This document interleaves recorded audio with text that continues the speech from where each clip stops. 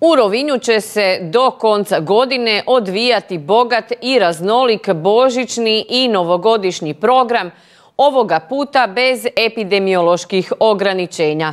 O tome što će se sve zbivati danas je bilo riječi u sjedištu gradske uprave.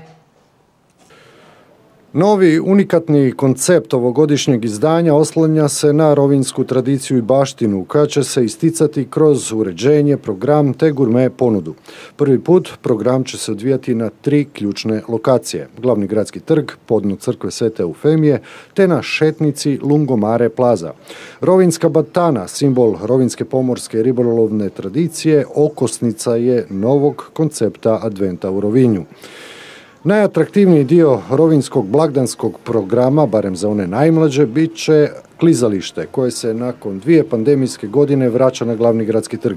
I ove godine u program su uključeni rovinski ugostitelji, u novu godinu građane Rovinja i njihove goste uvešće Toni Cetinski, a umjesto novogodišnjeg vatrometa odvijat će se prvi put laserski show to bi bio rezime najvažnijih zbivanja u Rovinju za Advent koji je predstavljen u Gradskoj palači. Činjenica je, ja ću još jedan ponoviti da je to najbogatiji program za e, Božić Novu godinu općenito i za općenito tijekom cijelog prosinca do sada. Što i dolikuje, e, da spomenemo to još jedan put da naglasimo, dolikuje to jednoj destinaciji godine, odnosno turističkom prvaku Hrvatske, jer smo evo ove godine ponovno nakon 2019. osvojili tu e, laskavu titulu, ja mislim e, zasluženo. I evo ovo je isto tako jedan način da se i zahvalimo našim gostima i našim građanima na onom suportu koje nam inače daju tijekom e, cijele godine. Nakon ove, tako bi rekao, dvije godine pandemijske krize i manjka različitih aktivnosti i različitih manifestacija. Mislim da smo ovu godinu ušli u sasvim novom ruhu.